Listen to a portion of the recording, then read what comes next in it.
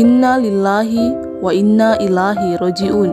Kabar duka kembali menyelimuti panggung hiburan tanah air. Kali ini datang dari artis cantik Marshanda. Namun sebelum kita bahas lebih lanjut, sempatkan jari Anda untuk menekan tombol subscribe, like and share, serta nyalakan lonceng notifikasi agar Anda tidak ketinggalan berita-berita terupdate dari kami. Belum lama ini, artis cantik Marsanda, pemeran Lala dalam sinetron Bidadari, membagikan kabar duka. Saat ditemui wartawan, Marshanda mengatakan sempat kaget mendengar jika pemeran Bom-Bom yang juga menjadi saudara tirinya dalam sinetron Bidadari meninggal dunia. Ia mengatakan sangat terpukul dan sempat tak percaya. Inna lillahi wa inna ilahi roji'un. Aku syok dan menangis, kata Marshanda. Kabar meninggalnya aktor dengan nama lengkap Muhammad Syariful Zannah itu atau yang biasa diakrab dipanggil Cecep Reza tersiar pertama kali melalui media sosial.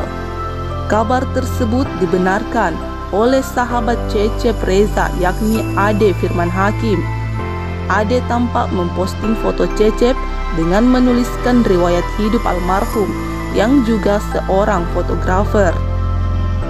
Dalam postingannya itu, Adi mengatakan jika Cecep Reza meninggal pada pukul 14.50 WIB di usianya yang ke-31 tahun.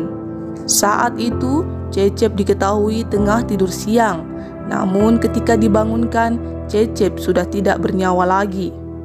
Almarhum Cecep Reza disemayamkan di rumah duka di Sate Blora Cirebon, Jalan Balai Pustaka Baru nomor 3 RT 4 RT 15 Rawamangun, Kecamatan Pulau Gadung, Jakarta Timur, daerah khusus ibu kota Jakarta.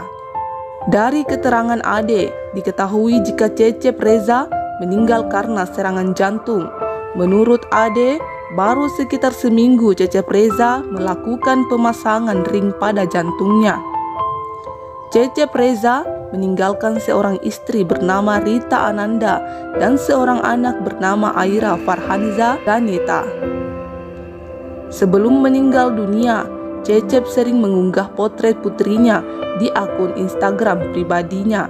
Ia bahkan sempat menuliskan isi hatinya sebelum kemudian meninggal dunia. Saya diberi hadiah yang luar biasa.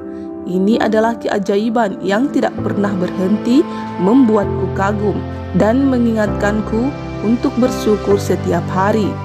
Memiliki istri dan anak memberi saya lebih banyak tujuan hidup. Saya jauh lebih egois sebelumnya, tapi sekarang saya berpikir tentang apa yang akan menjadi panutan. Saya hanya ingin menjadi pria yang lebih baik tulis Cece Preza.